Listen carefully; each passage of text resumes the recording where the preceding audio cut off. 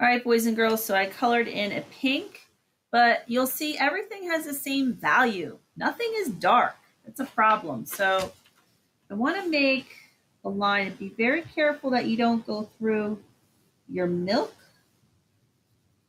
I want to push this back so that right now it pushes back. You could do it with black. I happen to be doing it with purple and that kind of pushes that back. And then I'm going to make a shadow. Think about where the light's coming from. Um, the light's back here or over there. We're going to make a shadow. Let's do the shadow going this way.